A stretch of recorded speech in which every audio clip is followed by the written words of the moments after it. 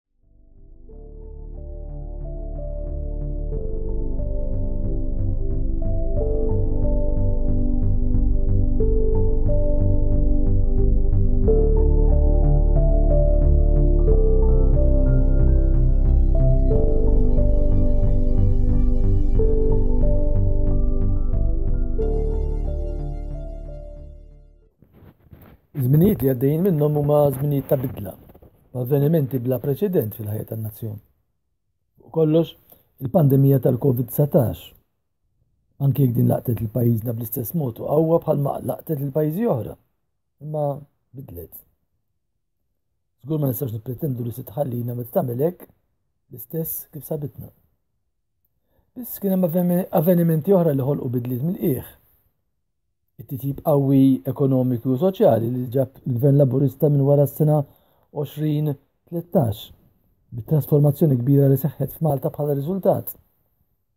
It-taqlib li kellna bi proġetti avventurużi, prospetti ta' korruzzjoni u fuq kollox, l-assassinju faħxi tas-Sinjura Caruana Galizia u effetti oħra.